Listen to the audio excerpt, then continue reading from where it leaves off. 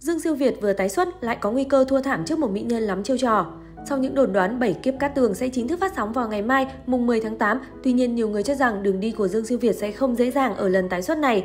Bảy kiếp cát tường, nhất thời xúc động Bảy kiếp cát tường là bộ cổ trang mới của Dương Siêu Việt đóng cùng Đinh Vũ Hệ. Phim được chuyển thể từ tiểu thuyết nhất thời xúc động Bảy kiếp không may của tác giả Cửu Lộ Phi Hương. Sau khi ấn định ngày lên sóng, những trailer hình ảnh chính thức cũng được tung ra và nhận nhiều lời khen từ cư dân mạng, đặc biệt là phần tạo hình đa dạng của hai nhân vật chính. Bên cạnh đó, có không ít người lại tỏ ra lo ngại trước diễn xuất của nữ chính Dương Siêu Việt. Dù ở trailer chính thức vẫn chưa thể đánh giá được nhiều, nhưng vì cô nàng vốn nổi tiếng là có sắc không tài nên khán giả vẫn không dám kỳ vọng. Đáng chú ý mới đây, các blogger Trung Quốc còn tinh mắt soi ra ở một phân cảnh khóc, Dương Siêu Việt dường như không thể rơi nước mắt. Kết quả ekip làm phim phải sử dụng tới cả kỹ xảo điện ảnh để tạo ra nước mắt giả, trông vô cùng hài hước, không chân thật một chút nào. Đã vậy nhìn kỹ, giọt nước mắt này còn không được chảy ra từ nước mắt của mỹ nhân họ Dương. Dẫu biết là khả năng diễn xuất của Dương Siêu Việt không tốt, nhưng đến mức cả một cảnh khóc không cần gào thét tương đối nhẹ nhàng mà cô cũng không diễn được thì quả là khó hiểu. Khán giả còn cho rằng chẳng thà nữ diễn viên cứ dùng thuốc nhỏ mắt, dù thiếu cảm xúc nhưng ít nhất là không tạo cảm giác giả chân cho người xem. Chính vì điều này mà nhà sản xuất bảy kiếp cát tường cũng liên tục bị déo gọi vì không tìm cách xử lý để Dương Siêu Việt có nước mắt thật tại phim trường.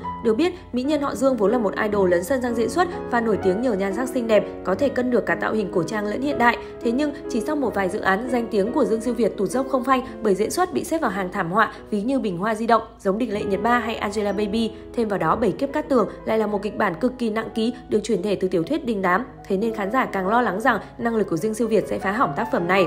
Bảy kiếp cát tường, nội dung kể về câu chuyện tình của bộ đôi oan gia ngõ hẹp Tường Vân, Dương Siêu Việt và Sơ Không, Đinh Vũ Hề.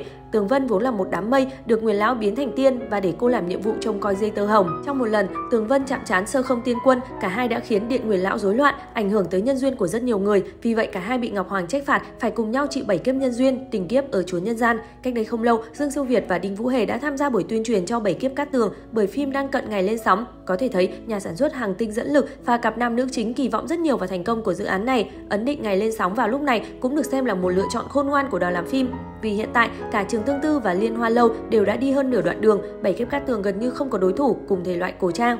Bên cạnh đó, dường như hàng tinh dẫn lực đang đặt rất nhiều kỳ vọng vào bảy kiếp cát tường, mong muốn dự án mới sẽ đạt được thành công tương tự như Thương Lan Quyết hồi mùa hè năm 2022. Theo tiết lộ từ nhà sản xuất, phim gồm 36 tập và sẽ được phát sóng trên nền tảng trực tuyến. Tại thời điểm mới được công bố, bảy kiếp cát tường đã phá mốc 1 triệu lượt đặt xem trước, con số này hiện đang không ngừng tăng nhanh cho thấy sự chờ đợi của công chúng với bộ phim là rất lớn. Tuy nhiên, nhiều ý kiến cho rằng những dự định này của nhà sản xuất có khả năng gặp phải trở ngại lớn bởi Yoku có khả năng sẽ đẩy Kiệu Hoa hỷ sự lên nhầm Kiệu Hoa được trồng như ý remake của Ngao Thụy Bằng và Điền Hy Vi đóng chính lên sóng cùng tháng với bảy kiếp cát tường.